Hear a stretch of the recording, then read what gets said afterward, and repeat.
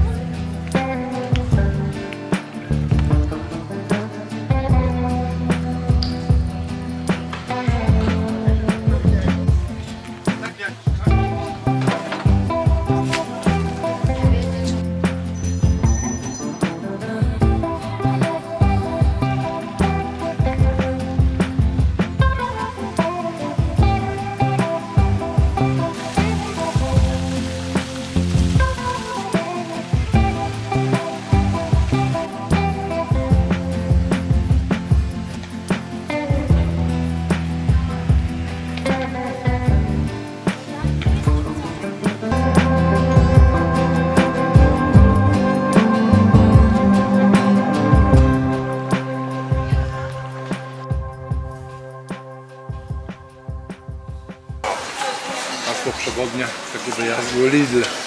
To co, wyjeżdżamy z Koszyc. I stoimy, deszcz pada. Eurobus, zastawka, stanek. Podobno do 17 ma tak padać. A jest pierwsza.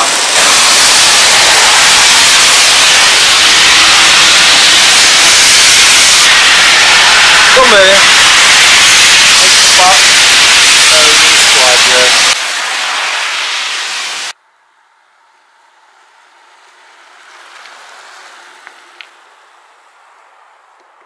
Widoczność dzisiaj słaba, pochmurnie, co chwilę pada, ale i tak jest ładnie. Spotkaliśmy rodaków, mają awarię, alternator. Można? Pani proponuje nawet Dobra. kawę. Nie no, kawkę to myśmy już dzisiaj pili, ale herbatkę z przyjemnością. Okej. Dzięki piękne. Czyli cztery, cztery, Cztery herbaty. Już idą, no. Ja w pierwszej chwili myślałem, że tu stoi karetka. Wszyscy tak myślą. A co się stało? Ładuje ci się, mówił mąż. Tak jedziemy od skokami. Od prądu do prądu. To ile czasu potrzebujecie na to, żeby się naładować? Zaczę, zaczęliśmy w Sokółce. Skąd jesteście z Polski? My z My środek z, Słupsk. po, z Pomorza, ze Słupska. Oj, no Sokółka, to też są, Sokółka Białystok to jest e, za Białymstokiem przy białoruskiej granicy. A dalej trasę to nie wiem, ja mam kierownika od tego. To tak jak ja.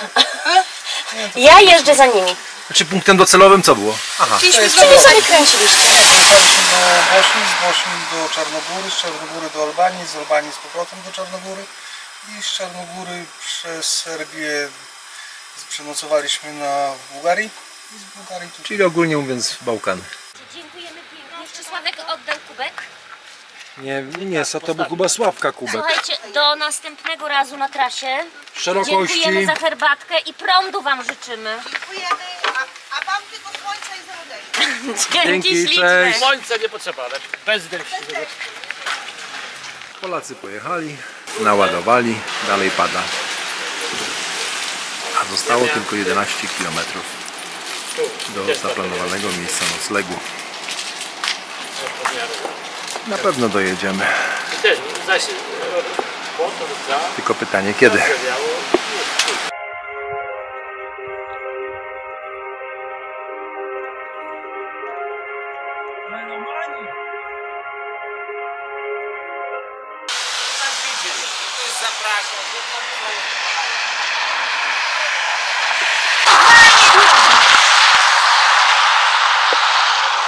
Muzyczka poleci właśnie Kolejny dzisiejszy dzień dobiega końca. Kilometraż może nie jest imponujący, bo tam zamknęliśmy w granicach 55 km. Mieliśmy dojechać, dojechać do Preszowa i też dojechaliśmy do Preszowa.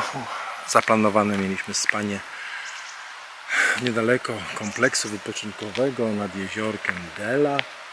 No ale okazało się, że obiekt jest zamknięty, ogrodzony. No i zaczęliśmy szukać jakiegoś alternatywnego wyjścia z całej tej sytuacji. Nagle wypatrzyliśmy taką oto dziurę. No nie bylibyśmy sobą, gdybyśmy tutaj nie weszli. No i cóż się okazało. Idąc sobie z tą ścieżką, nagle okazała się naszym oczom taka oto polanka. Polanka w środku jakiegoś liściastego lasu nad rzeczką. No i cóż, ustaliliśmy, że zostajemy.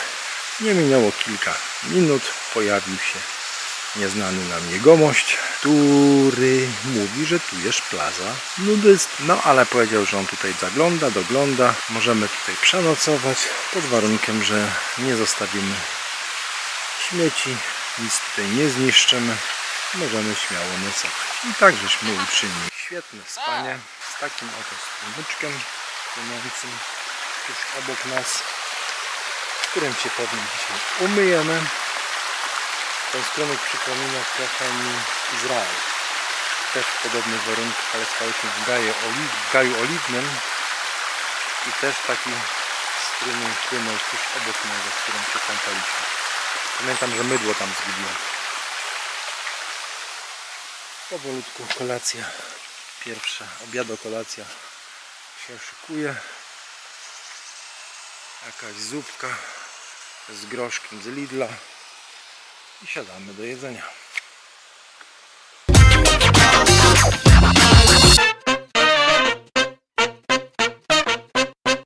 Poranek na plaży nu- nudystów. Prawie ma się ku końcowi. Jedyną osobą, która tutaj korzystała z plaży nudystów, jak sama nazwa mówi, to była Monika. Biorąc prysznic polowy. Powolutku się zbijamy. Miało być dzisiaj słońce, ale jak widać nie ma. Czas na podsumowania nastąpi. Nie wiem, czy będziemy to robić w trakcie naszej podróży, czy już spokojnie w domu, podsumowując zyski i straty. Bo straty były również, ale materialne, drobne, ale były. No i cóż, do zobaczenia na trasie.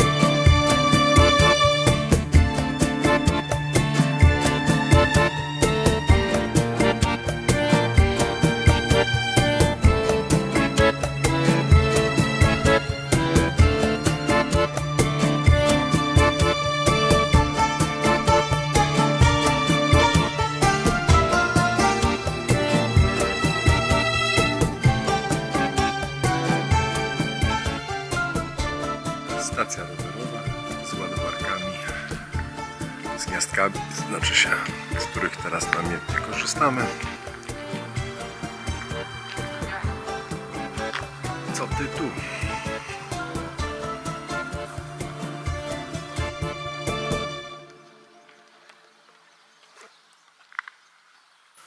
Piękna trasa rowerowa na trasie Preszów, Muszyna. Cały czas jedziemy taką właśnie ścieżką. No i takie widoki mamy cały czas. I proszę, mamy zawody wędkarskie. Jury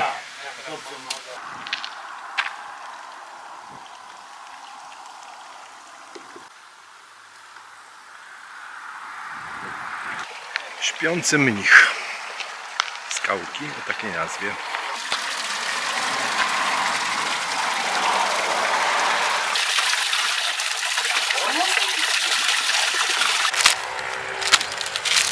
Orlowo.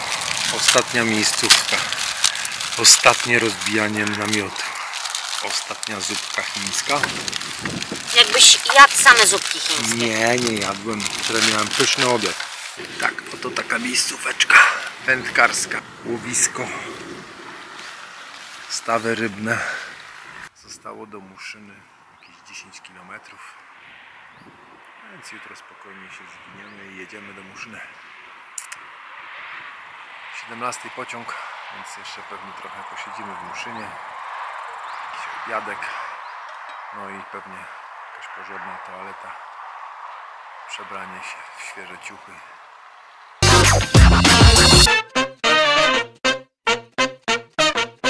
Ostatni poranek. Ostatnie zwijanie namiotu. Ostatnia kawa. Nastał czas powrotu. Otoczeni chmurami ciemnymi. Z jednej strony ciemno,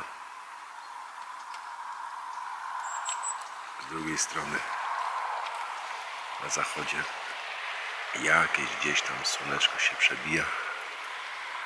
Powolutku zaczynamy zwijać nasze obozowisko.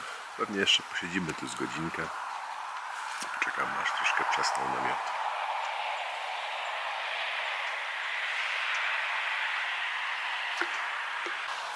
Ostatnie śniadanko. Wyjdzie wszystko, że mają. No, Nogi, Boże, chyba jeszcze chcę pożyć.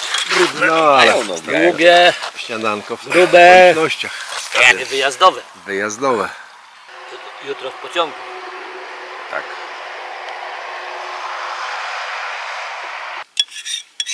Pożegnalny budyń. Integracyjny. Ale wiecie co? Jednak mokra ta folia. Źle.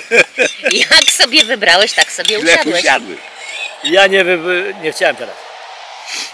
Jaka była najlepsza miejscówka? Z tych 14 dni?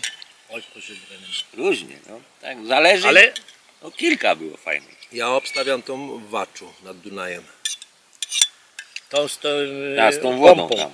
Z tą wodą. No dobra była, bardzo dobra. A, tamta. Zerowy...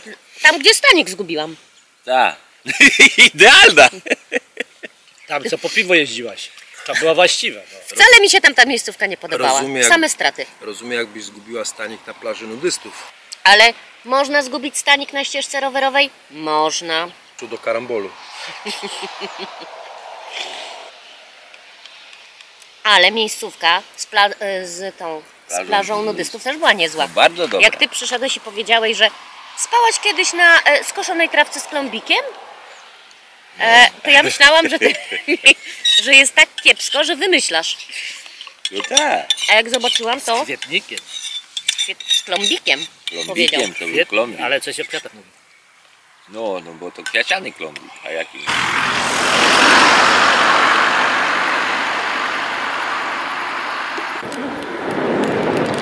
Jesteśmy, granica państwa Słowacja, Polska. Po 1014 kilometrach wjeżdżamy do Polski. 1014 kilometrów. Wyjechaliśmy, opuściliśmy granicę państwa 18 sierpnia. Po co prać, jak można wymienić w second handzie? Poprad płynie sobie i tak będziemy 30 km jechali wzdłuż Popradu. Decyzja już zapadła.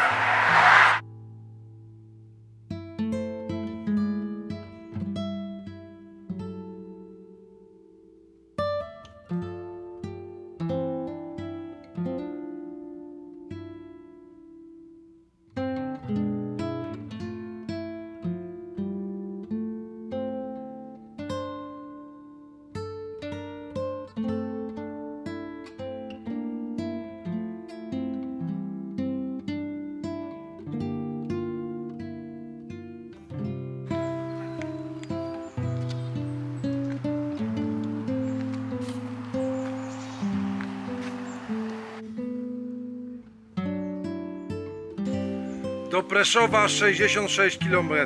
Byliśmy. W Sabinowie byliśmy.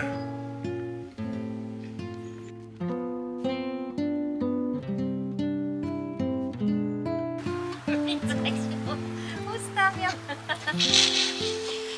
No bo może tylko tył widać, żółty ten. No było właśnie. Jechał za nami, jechał za nami i powiedział, że nie ma przejścia przez Tak, tak rzekę. powiedział. Tak. No, tak powiedział. Tak powiedział, bo ja to też słyszałem. Ja nie słyszałem. I, by, I myślałam, że on jedzie za mną. Ale faktycznie ty byłeś bliskim sąsiedztwie. Tak.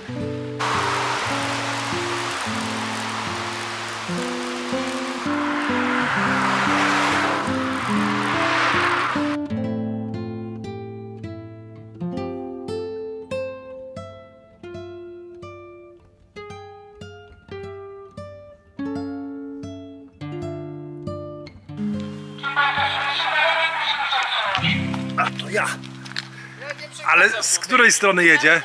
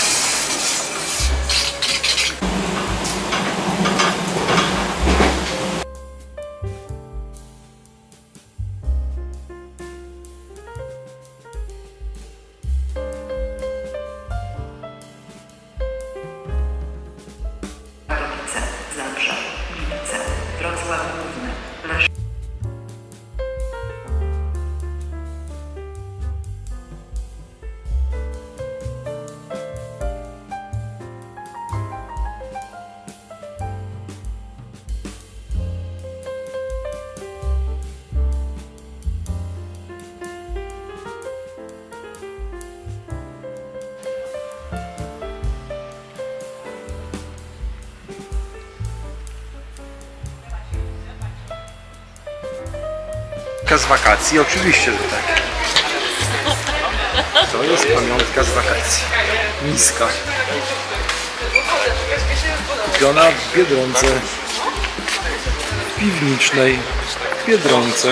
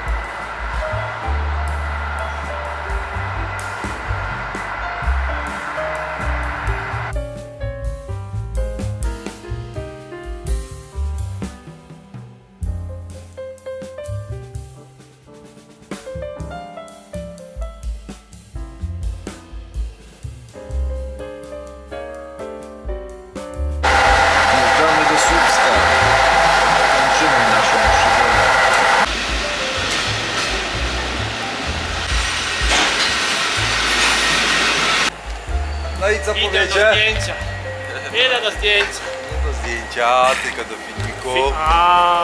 Jesteśmy w Słupsku po Buchachami. 1056 km, 24 godzinach prawie jazdy pociągiem. No ja przesadziłem 12. Oj tam oj. Cali i zdrowi. Dzięki Wam za wspólną podróż, za to, że znosiliście moje humory. Nie, nie było humoru, wszystko. Teraz już wszystko się zapomina. Dzięki. Sławek, bo cię nie widać. Ja nie widzę, ja w ogóle nie widzę nic tutaj, bo ja... Wojtek, niżej. Ja za to jestem. Dobra, Dobra. do zobaczenia za rok.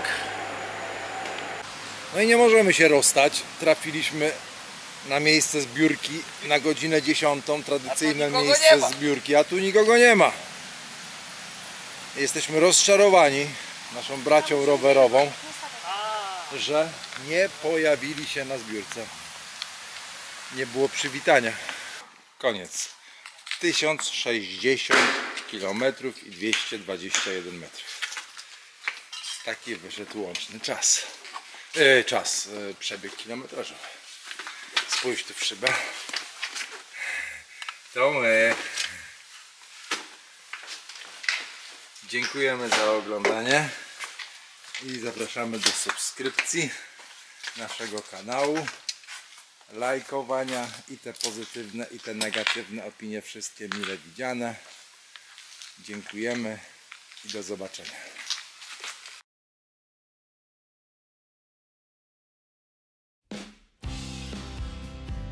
Na tym zakończyliśmy naszą filmową opowieść z letniej rowerowej wycieczki.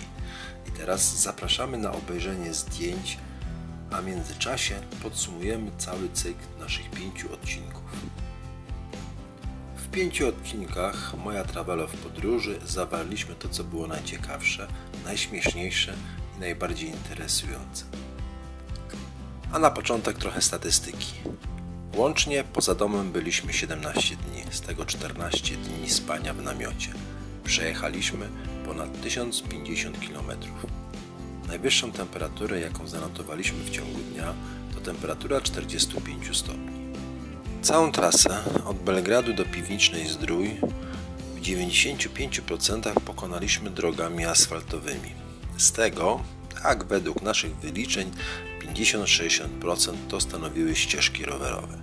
Praktycznie ścieżki rowerowe mieliśmy od Belgradu aż za Budapeszt. Praktycznie od momentu pożegnania się z Dunajem reszta dróg wiodła drogami publicznymi.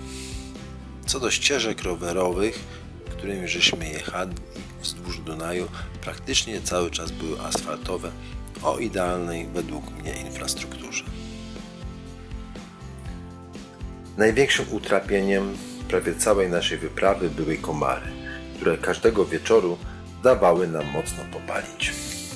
Z internetem nie mieliśmy żadnego problemu. Bardzo nam to ułatwiło sprawę sprawdzania codziennych wiadomości dotyczących pogody.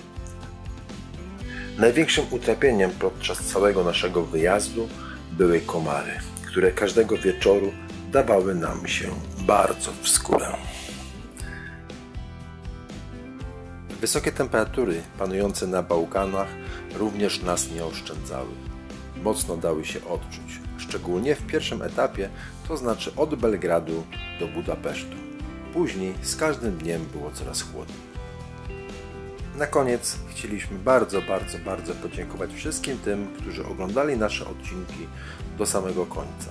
Zapraszamy do subskrypcji i oglądania naszych filmów z innych wypraw. Pozdrawiamy, do zobaczenia na trasie. Hej!